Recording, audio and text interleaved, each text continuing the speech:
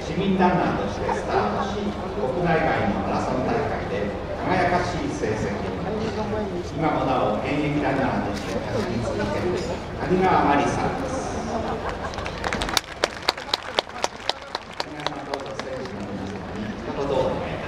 皆さんおはようございます、えー、私東女子マラソン優勝しましたのが1991年なんですね。もうあれから20年も経っていますけれどもさて私はいくつでしょうかという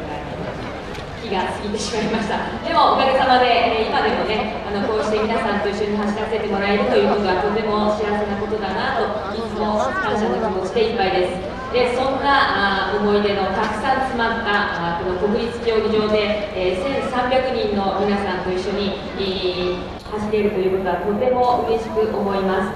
えー、今日は皆さんのハーフマラソンですけれども、え若干気温が高めな感じがしておりますので、ぜひですね、あの給水をしっかりとっていただいて、え、宇佐美先生もおっしゃってました、自分の体とよく相談をしながら、え、最後までマイペースで走ってください。私も一生懸命、えー、ハーフマラソンを走りたいと思います。よろしくお願いします。